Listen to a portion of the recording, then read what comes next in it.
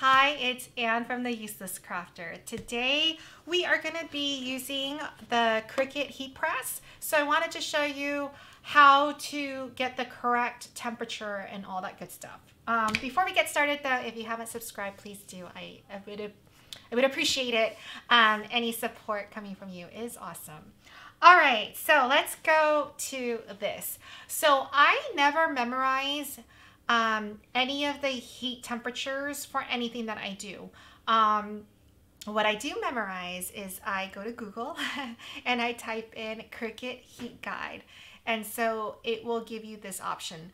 You would select the tool that you have.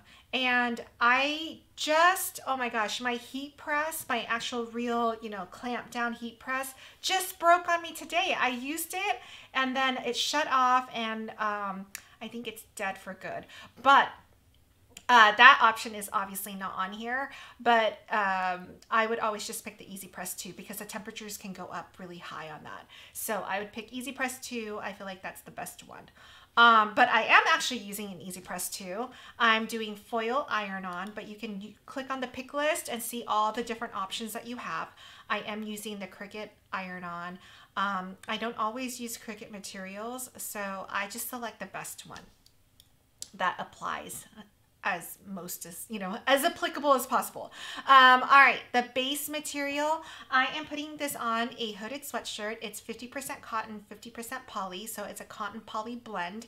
But you can see here you can click on the pick list and see all your different options. So i really like this. Sometimes i can't remember what it was but there have been a few times when i've looked and it didn't have the one that i wanted.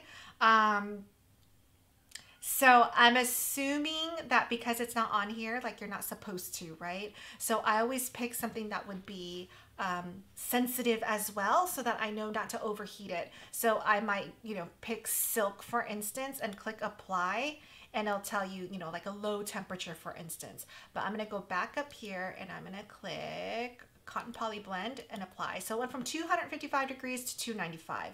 So I just wanted to show you that. I am, all right, let's, let's switch out and um, let's do this. I'm gonna show you my desk. So I'm gonna move my keyboard in a second. I'm gonna make sure that you can see everything. Okay, so I'm gonna move this keyboard out of the way. I've got my heat press going.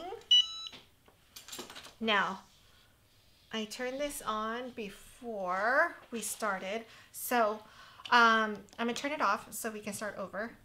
So you want to make sure that you're on this base, okay?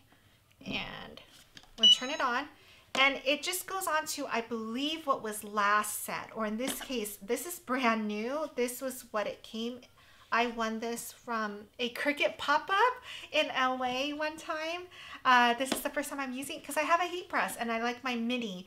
Um, very rarely do I use, well, never actually. All right, so you turn it on. You hit the temperature key and we're gonna go down in temperature to 295. So if you hold it down, it goes down by 10 degrees each time. So I hit the temperature again. The time is 30 seconds. I'm gonna click on that, go down. Oh, it goes down by five seconds, so I wanna go down to 30. Oops, shoot was talking and I missed it. Okay, and hit the time. So now my temperature is set at 295. My time is set at 30 seconds. This will turn green when it's ready. Right now it's too hot, but that's okay because we can look at what we're pressing. It is this gorgeous owl. Can you believe this? It's so beautiful. And if you watch my other videos, then you this doesn't apply to you. This is if you've never watched my HTV videos, and this is the first one, I'm to ask you, how long do you think it took me to weed this creature? it took over an hour to cut on the Cricut Maker. Um, and it took me like two minutes to weed it because of the hack. Did you notice there's no sticky carrier sheet on the outside, right? Um, so basically I treated this HTV like cardstock. I cut it so that it cut through the carrier sheet so that when I pulled up, all the pieces that I normally would have to weed slowly and painfully, it just stayed on my mat. So let me show you my mat. All my weeded parts stayed on here because I cut deep. I cut past what you would normally cut for HTV. Because normally for HTV, you want it all sticking on, right? And then you got, it's sticky because all the excess piece that you weeded, it's the sticky carrier sheet. So you want to make sure you put it on something to, you know, so that it doesn't pick up debris and all that other, oh my God, it's like a hot mess right now, right? So normally it's like this, but when you cut through the transfer sheet, I'm basically treating this as cardstock. I want to lift it up. I want the transfer sheet to only be on the foil that I'm keeping. Everything else, so I'm going to put this back down and see if I can line it up a little bit. Eh, something like this. Anyway, it would be completely covered. Is that amazing or what, right? So I selected, so this is foil HTV from Cricut. Um, when I went to my maker, I selected glitter cardstock. I want it to cut, I want it to think that it's a really thick material so it would cut through that carrier sheet so that I just lifted it all up no weeding is left, which is amazing because let me show you this. I cut this yesterday just to kind of like prove a point, right? Um, this took me an hour and I still have the majority of the face left and I still have two sections of the wings. Um, and I'm just so over it. it. It was so painful weeding this. I did not enjoy it at all. So anyway, that's my hack. Um, I just kind of like discovered it. I don't think anyone else has discovered it. So if you have seen this somewhere else, please let me know because I want to give them credit. Um, and I also don't want to sound lame saying that I discovered something that I did not discover. um, now, this only works in two situations that I can think of at this time. One is the mandalas because the mandalas are all connected, right? Everything's connected. It's one whole piece. So if you do that, then you can pick up and it's all one piece and it's, you know, it's stiff because you have the carrier sheet still on here. So it's not flimsy, it's easy to handle. That's one situation. The other situation is, I've used this example in my other videos. When you layer something that's thick, like these are big pieces, I, if you cut this, instead of using the heat press like seven times, right? Like doing the pink and then heat press, peel off sticky sheet, put the next color, heat press. This is thick enough that if I cut it and treated it like cardstock, I can place it all down and maybe press in two times. I would probably press everything but the words be kind. So press all of that and then put be kind down and press again. So I think I could get away with doing this, this method in two presses. When in reality, when I first did this, this was at least uh, three, six, seven, eight, nine. I think it was at least nine, if not 11 presses, quick presses, because I didn't want to burn anything either. Um, so those are the two scenarios that I think it would, would work really well.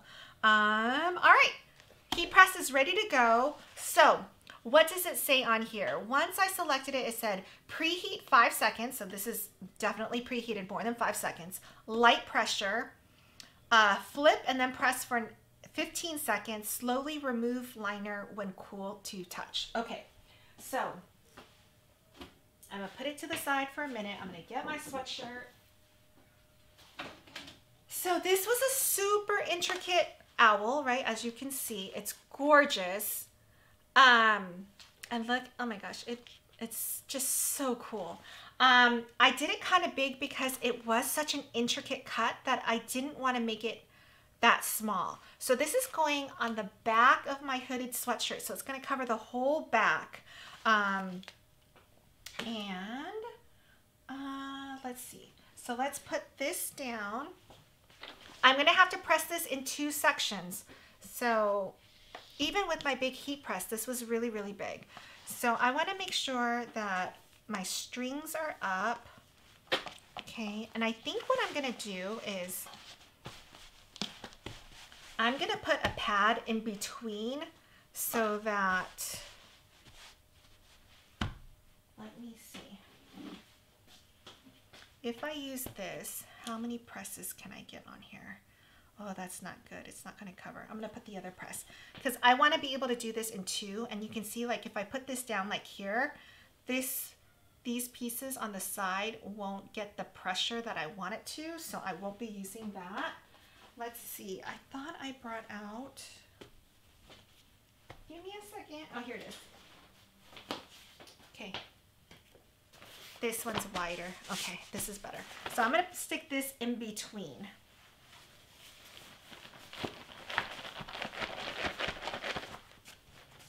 I want to make sure that this gets the I'm using this line of the hood to help me line this up. And let's see if we can get this. I'm straining it out as much as I can. Okay, let's put our owl down. I want to make sure, okay, so I'm gonna move this a little bit. I'm gonna press from the bottom first, okay? And the reason is because I want this to be down here so that if the hood comes down, I mean this, you're only gonna see the full owl if my hood is up. So I kind of want it like right around there. So, you know what, I can do it from the top. I'm gonna move this just a little bit more up. So I'm aligning this piece to the middle of my hood and then also down here it looks pretty even. I'm going to move my little piece in here up a little bit more. Okay.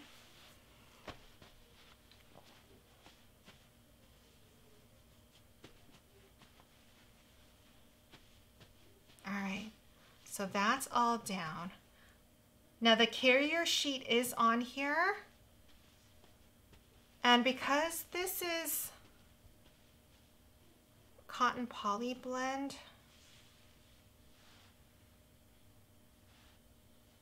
I'm gonna put my heat press directly on here. Okay, for 30 seconds. Let's do this. Okay, so while this is on, what I've noticed is my wings aren't getting covered. So I'm gonna have to go back and do my wings, or I'm gonna have to do two, two, and then one. So I think this is gonna be a four section press. Um, with my other, I'm gonna have to use the Teflon because I feel like some of this might get overheated. Uh, that was fast. Let me move that out of the way. Um, Okay. Um, what should we do? Okay, let's do this section right here. So I'm going to put this up here like that.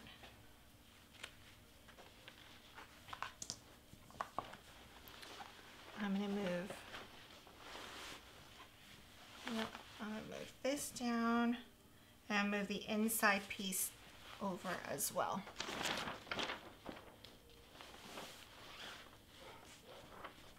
All right, so that's all straight. This is down. I'm gonna put it like this. Actually, I'm gonna put it, make it like this. Okay, this definitely has not gotten any heat. Okay, so let's do this.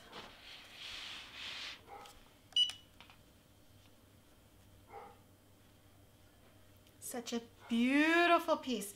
Um, and I think just from knowing what I know through poly tape, after I pull off the liner, I want to do another press just to give it like the final touchdown. Because I didn't flip it over for 15 seconds because it's such a thick sweatshirt, I don't even think I can really heat it that way. Okay, so I'm lifting that up. Oh my gosh. Okay, so up here, it didn't you can see it's, so now I'm looking to see where I need to go. So I'm gonna do this side right here and then I'm gonna do the tail at the end. So let's move this over a little bit. So make sure it's supported. Okay. And I'm actually just gonna cover the whole thing because I'm worried about it getting too much heat. So it's starting right around here.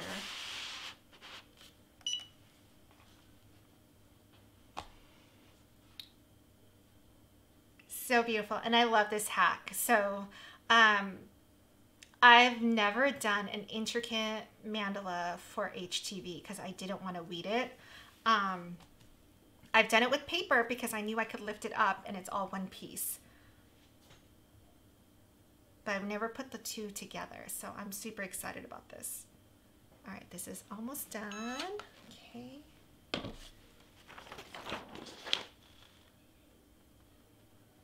All right, now we just have the bottom. So I'm gonna scoot everything down. Scoot this down as well.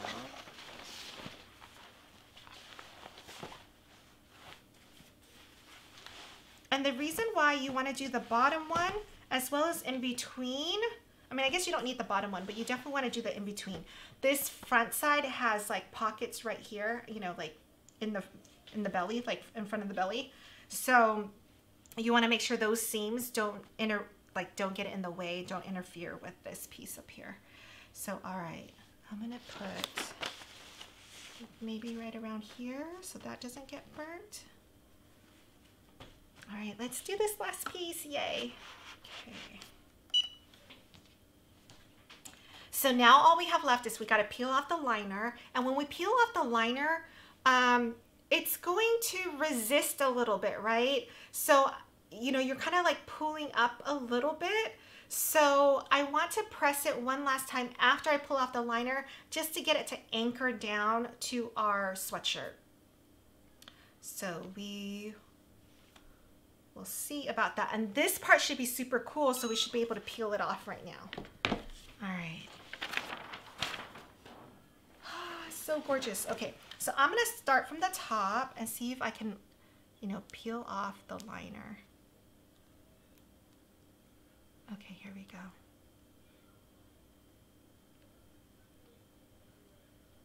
Oh my gosh, can you see it? Gorgeous. But you can kind of see this is pulling against the, the fabric. Not that it matters. It's totally, like you can see, it's smooth. It's on the sweatshirt.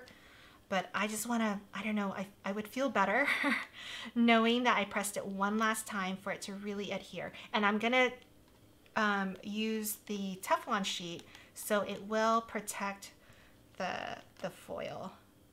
Oops.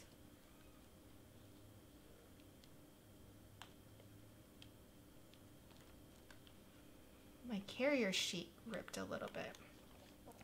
So I still had a piece on, which I don't think matters. Eventually it would fall off, right? Okay, here we go. Let's see, it's starting to come off here. I'm almost wondering if I should go from the bottom up. Because the intricate pieces stick up this way. All right, I'm gonna see if I can peel from the bottom.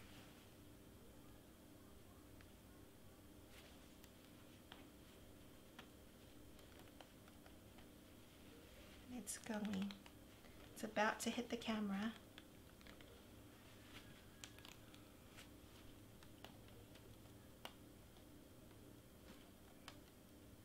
Mm, there are still some pieces that go both ways. Okay.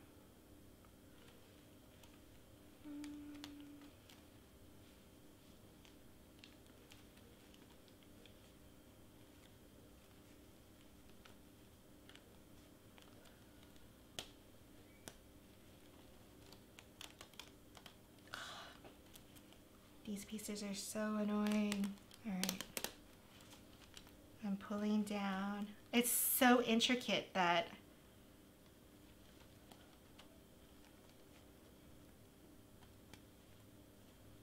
Oh, hold on. That one popped up a little bit. Right there. So hold on. let's get one more press right there.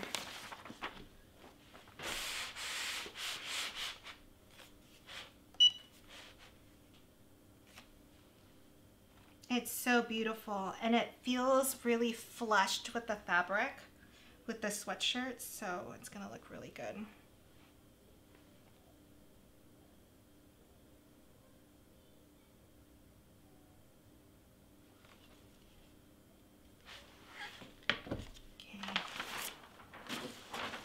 Should be good now. Let's see. Let's see, where am I up here? Let's go down some more.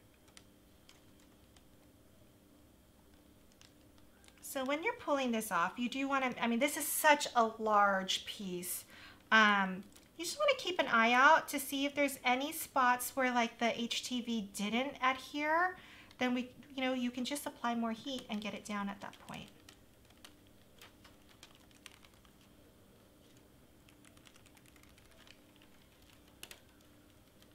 Here we go.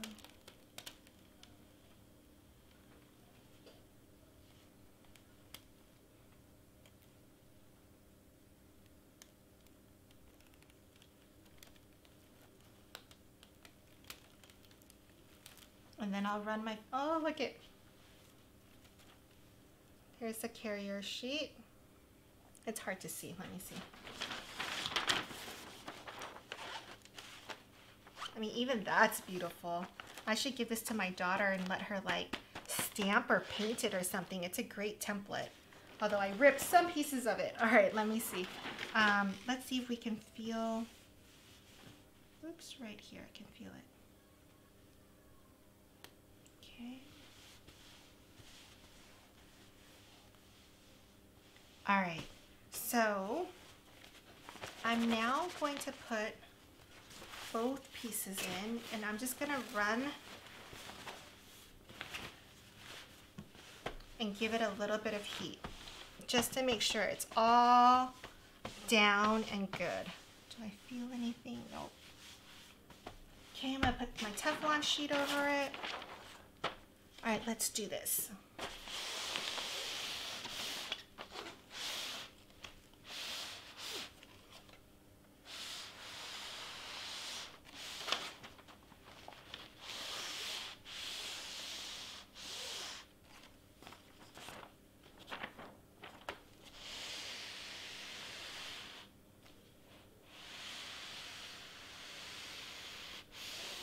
It already got its heat. I'm just, because I pulled at it, I just want to give it a little bit more heat. All right, I think we're good. Ta-da! Oh my God. Ooh, a little hot. Okay. I love it. Look at that. Oh my goodness. Minutes, minutes to weed. Right. I will see you guys next time. Comments, questions, please let me know. Um, and also, you know, I'm not a big HTV person, right? I like to use HTV in quirky ways, but I love the fact that I was able to experiment with it and, you know, come up with something different. So I'm totally open for that. If, even if it's something you don't see me doing, if you have an idea, please let me know. Um, I would love to waste a lot of material to figure this out for you. Let me show you all the ones that I wasted. Um, this is not one. That was, I wanted to weed that one, but this was one. I realized that I didn't cut deep enough. So I would say, uh, I don't know, 75, maybe even 85% of it did cut well enough, but it didn't weed all the way. And it's such a gorgeous purple foil-ish that I'm disappointed I can't use this. Well, I can use it if I weed it, and well, we know how I feel about that. um, I have another one. So I am not opposed to wasting materials to test things out. Just let me know. All right, see you guys.